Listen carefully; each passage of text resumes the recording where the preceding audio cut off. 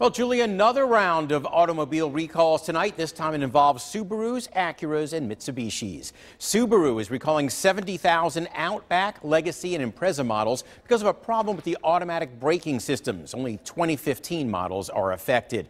Acura, meantime, is recalling its 2014 and 2015 MDX. That's one of Consumer Reports' top-rated SUVs.